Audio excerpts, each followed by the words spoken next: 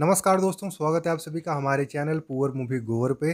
दोस्तों, आज हम लोग फ़िल्म रिव्यू करने वाले हैं जॉन अब्राहम और इमरान हाशमी स्टारर मुंबई सागा। दोस्तों, इस फ़िल्म को डायरेक्ट किया है संजय गुप्ता ने और यहाँ पर आपको 80s और 90s के मुंबई की कहानी बताई जाती है और इस फ़िल्म में दोस्तों ढेर सारे टैलेंटेड कलाकार आपको नज़र आएँगे।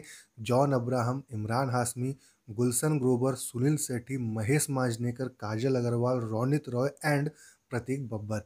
तो दोस्तों, इतने सारे कलाकार इस फ़िल्म में आपको देखने को मिलेंगे। और अब मैं बात करूँ अगर कहानी के बारे में तो यहाँ पर आपको एटीज़ और नाइन्टीज़ के मुंबई में जो गैंगबाजी चलती थी, जो भाईगिरी चलती थी, उन सारी चीज़ों के बारे में आपको यहाँ पर बताया गया है।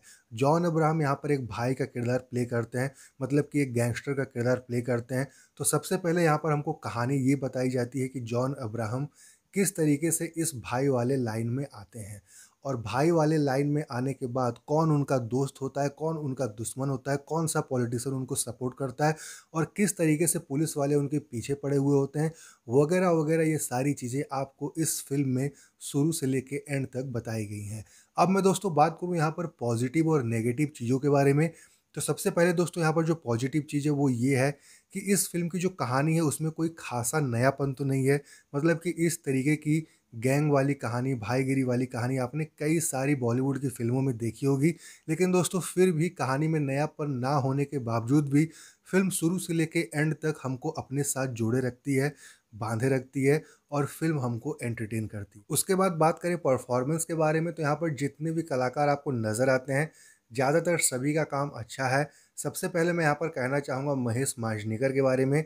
उन्होंने यहाँ पर बाला साहब ठाकरे जैसा एक किरदार प्ले किया जो कि एक बहुत ही पावरफुल नेता है, लोग उसके भाषण सुनते हैं और काफ़ी ज़्यादा ये जो करेक्टर है इंस्पायर है बाला साहब ठाकरे से।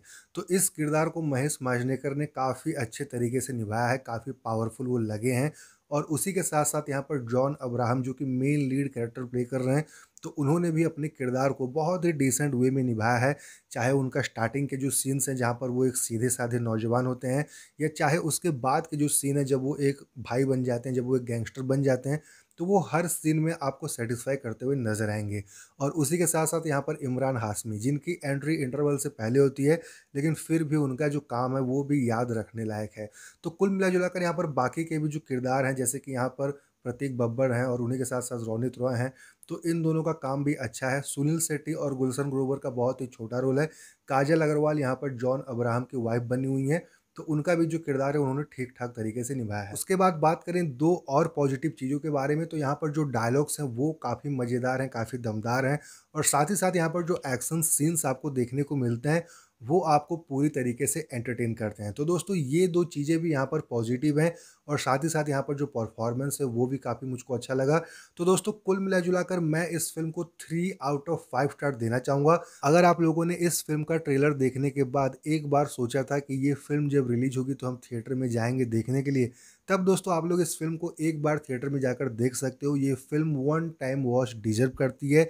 यहाँ पर जो कहानी है, उसमें कोई खास नयापन तो नहीं है, लेकिन फिर भी ये फ़िल्म आपको एंटरटेन करने में कामयाब होती है। दैट्स फॉर दोस्तों, इस फ़िल्म को three out of five star for Mumbai Saga तो दोस्तों, कुल मिला जुला कर ये था मेरा रिव्यू मेरा रिव्यू अगर आप लोग को पसंद आया तो आप लोग हमारे इस वीडियो को लाइक करें शेयर करें सब्सक्राइब करें हमारे चैनल को। मैं फिर मिलूँगा एक नए रिव्यू के साथ। तब तक के लिए जय हिंद, वंदे मातरम।